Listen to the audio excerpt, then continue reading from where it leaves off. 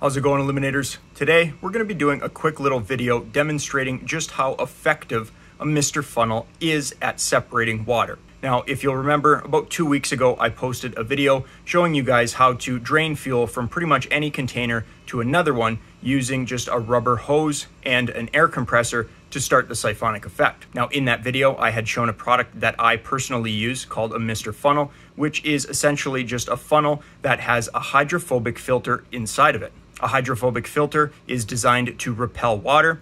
And in that video, I got a couple comments saying that yes, it does filter out water, or no, it doesn't filter out water. So today, I just wanted to do a quick little video demonstrating just how well it actually works. So with that being said, let's get right into it.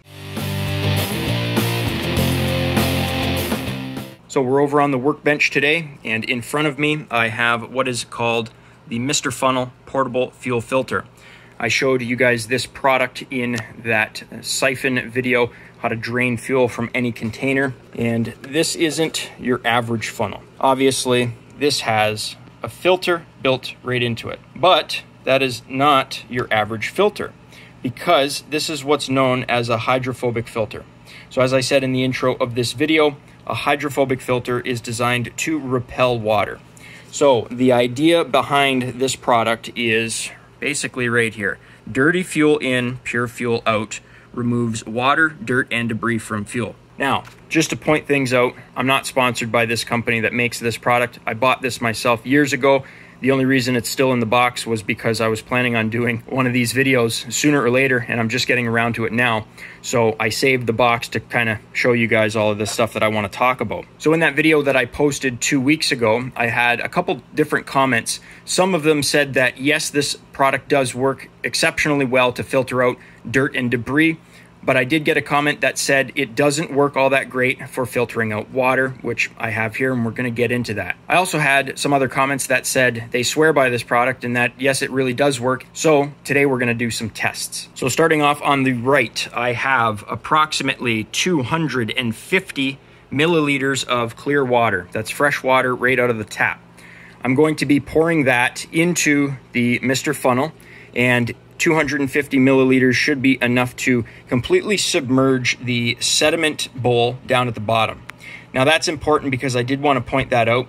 This Mr. Funnel has been designed with this deeper little area here to allow any dirt and debris to settle without actually blocking the filter itself. So you can imagine if they didn't have that and you dumped in really dirty fuel, you would get dirt and debris coming up the filter and you would block your filter. Now, once we dump the water in, I'm going to have this empty jar here underneath this funnel. So that funnel will be in the open container. And we're gonna see just how much water, if any, goes from this container through the funnel into that jar. And you're gonna see it in real time. I'll try not to do any editing. I'll just do it in one big take. And then moving way over here to the left, I have a jar of fuel. However, that's not just fuel that's in there. I'm going to hold this up to the window here and see if we can get this to focus. You guys see there is some water in the bottom of that jar. So this is pretty much like what you would get out of a lawnmower that was stored maybe for the fall winter period. So I have my Mr. Funnel set up into my jar here that for the most part is empty. I drained it out the best I could. And what we're going to do is, without any cuts, take this 250 milliliters of water and we are going to dump it right into the Mr. Funnel. So you guys are going to see here that we have submerged the sediment bowl at the bottom. I'll try to zoom in here for you guys. And the filter is submerged. However, you guys are going to notice the water level is not going down. So again, without any cuts, we're going to look into the jar here. I'll try to focus up, adjust my lighting.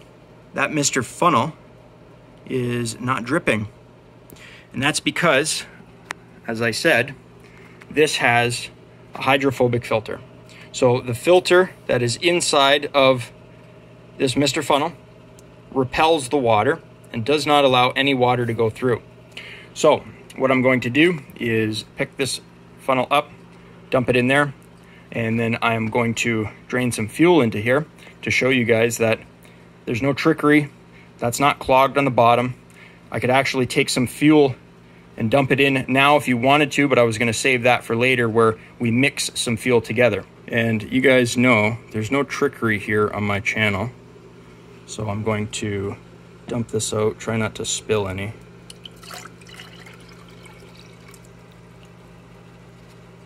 Dump that out. Set the Mr. Funnel up again, and then we'll take our fuel here that has a little bit of water in it. And we're gonna dump this in. And you guys are gonna see, again, this is live here. No cuts, I'm spilling a little bit because it's dripping off the side of my jar. But check this out. The Mr. Funnel is funneling out the fuel and what remains in the bottom of this should be all water. Now, this is a perfect time to explain the flow rates of these funnels. You can get them in different GPM rates, and GPM is gallons per minute. So you can buy them in a smaller funnel, let's say a 3.5 gallon per minute, or you can buy a Mr. Funnel that's like a 5 GPM, which is going to allow 5 gallons per minute to flow through this. So if you had like a small lawnmower, the small one is perfect. But if you were going to be filling up a boat at a marina or a dock, you may want a larger one. So as you guys can see, you let this thing sit and over time it will filter out all of the dirt, debris, and the small amounts of water. And obviously you guys saw I dumped in 250 milliliters of water directly into that pure water and none of it went into the jar below. So I'm just gonna lift this up a little bit, allow the rest of the fuel to drain through. And we're going to see here, check out all the water that's left in there. Now there may be some fuel in there as well, so I would not advise you guys to go ahead and just dump this into the marina, you know, if you were filling a boat, because there could still be some dirt and debris and fuel in there. So what I would recommend is just have like an empty jar nearby so that you could always dump off what's left in your Mr. Funnel after you've filled up your jerry can or your boat or your lawnmower, whatever it may be. So here on my workbench, for instance, I have this glass jar that is pretty much my discard jar. And any nasty fuel or water that comes out of a carburetor's bowl, I go ahead and just drain into this bowl here. You guys can see a little bit of oil from a two-stroke pretty much everything goes into here. So now that you guys saw just how effective the Mr. Funnel was at preventing the 250 milliliters of water from going through into our jar, and you guys saw that it allowed the fuel to go through, separating the little bit of water that was at the bottom of that, which hopefully I can show you guys. Can't really see it all that well, but there may be the slightest amount of water, and that could have been residuals left in the bottom of the jar. However, now I want to do a mix of the two. So I'm going to take this fuel here and dump it into the jar of water there measure out maybe about 500 milliliters, and then we'll mix it up with a stir stick, and I'll go ahead and dump it into the jar and see how effective it is at separating the 250 milliliters of water from the approximately 250 milliliters of fuel. So I'll go ahead and drain this in and try to measure out about 500 mils. What do we think? Pretty close, good enough maybe a little bit under, but you guys can see, check that out. Water right to the bottom. And that's what happens in your lawnmower's fuel tank. So just like I said, water always settles to the bottom and in a lawnmower or pretty much any small engine, apart from some riding lawnmowers that have the top down pickup, you're going to have your fuel tank with the fuel line right at the bottom. So on a single cylinder engine, you're getting pure water going into your combustion chamber and it's not going to combust, which pretty much doesn't allow your engine to start. So with that being said, I'm just gonna mix this up a little bit. We'll go ahead, dump it into the Mr. Funnel and see what comes out. So I'm trying to mix this with a little stir stick and you guys can see that it's not mixing all that well. Okay, so I had that lid on this jar and I was shaking it up quite a bit. You can see we still have water at the bottom, fuel at the top. However, the fuel is much cloudier because it has quite a bit of water mixed in with it. So once again, just to show you guys just how much liquid we're dealing with here. It should be roughly the same amount. Pretty much maybe 475 milliliters total. So we'll go ahead and drain this into our jar. See if we can do one shot here. We're spilling a little bit, but you guys are gonna be able to see there's fuel coming out at the bottom and it's going to take a little while to drain.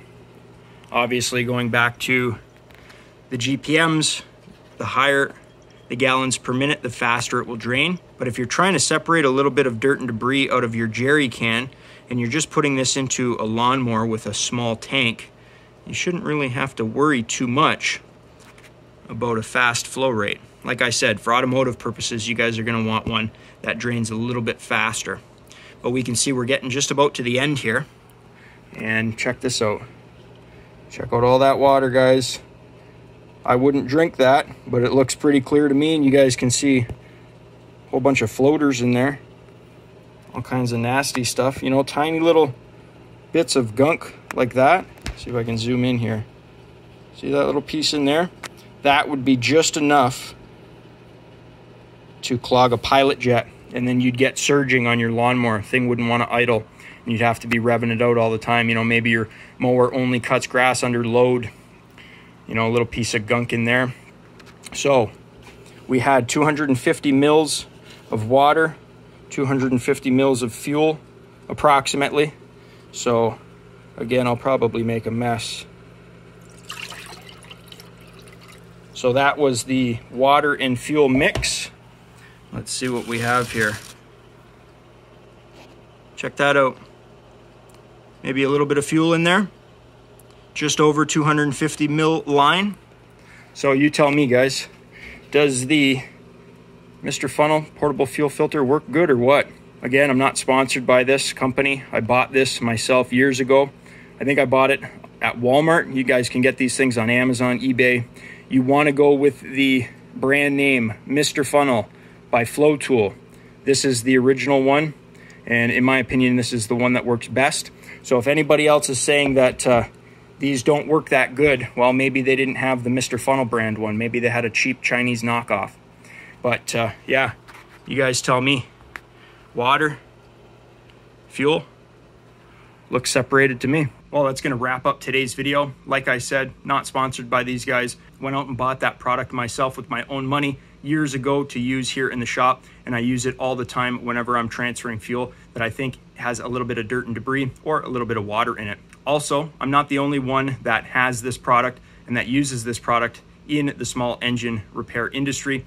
I know that Steve's Small Engine Saloon also did a good video on pretty much documenting the same thing that I did. He had the exact same results. He poured pure water in and not a single drop came out which I mean, you know, you got to be happy with those results. So with that being said, if you guys enjoyed the video, think about leaving me a thumbs up. You know, it really helps me out. You can click here to subscribe and click over here to watch one of my previous videos. I upload every single week, so be sure to stop on by next week, check channel out for new content. And as always, guys, thanks for watching.